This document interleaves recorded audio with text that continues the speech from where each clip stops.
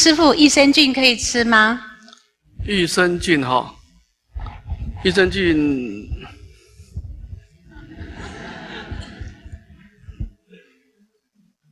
你说呢？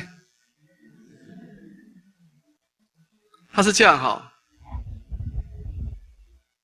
我在世的时候啊，很多比丘是有神通的，有神通啊，他喝水的时候啊，他用神通力看那个水啊，就很多虫，因为每个水都有很多细菌的，他用神通力啊，就比较就不敢喝水了，那就不不敢喝水就渴死了是吧？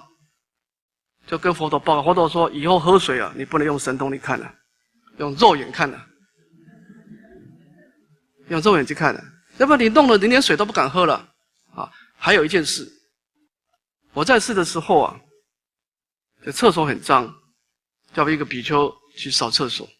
那这个比丘神通力一看，哎呀，这个细菌里面很多霉菌呢，不敢扫。我都说我叫你去扫厕所，我没叫你伤害众生，我叫你去扫厕所。你们听懂吗？听不懂哦，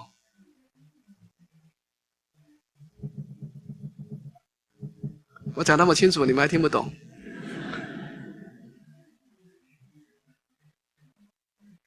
你不要打太多妄想啊！就是说，你你你你一定要喝水嘛，是吧？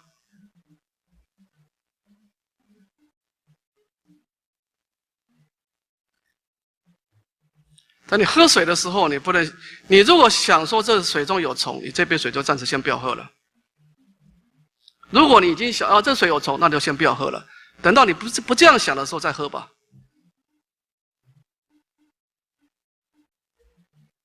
如果你确定有虫，你真的不能喝，因为你伤害慈悲心了，你明知故犯了。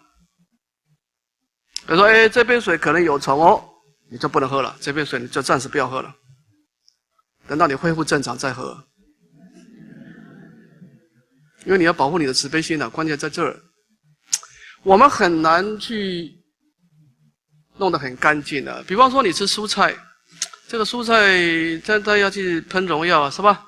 很多人是去撒农药，我也没叫你撒，但他去撒了，这个也算到我们身上了哈。但是你不能造太重的生死业，故意的东西特别重。有些东西，其实我们在娑婆世界活一天呢，其实你想一想，你很难干干净净的。共业嘛，是吧？除非你自己种菜，是吧？但是你都把精神顶下去种菜了，就糟了。所以我们很难百分之百干净的，但至少在你能够控制的范围。所以菩萨界啊，凡事尽心尽力啊，成败交给业力啊。他要的是你那种尽心尽力、绝不放弃啊！因为你活在众生的共业里面，你很难离情所居啊！大家的业造的这么重，你只能够相对干净了。